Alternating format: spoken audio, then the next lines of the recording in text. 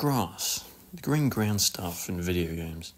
It's a major part of modern game graphics, and it can either make a game look cheap and poorly made, or alive and beautiful, and that's exactly what I, Zack, at All Nighter Studios, have been working on for the last month. It's taken way too long. When I was working on the grass, I had a lot of ideas on how I could like properly implement it, but just nothing worked.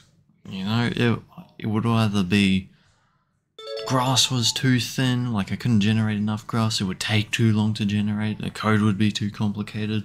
But finally, after so many crushed dreams, lost hope, I finally got working grass generation. And here's how it works.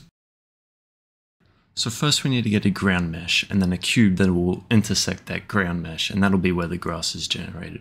In that cube we generate points and then from those points we will shoot a raycast from the top of the cube to the bottom and then when that intersects we'll get a grass mesh at that point.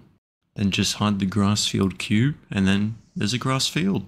If you want more information on how the grass works, I'll be uploading a video of like going into detail on all the code and stuff on YouTube, so make sure you subscribe to that. Anyway, see ya.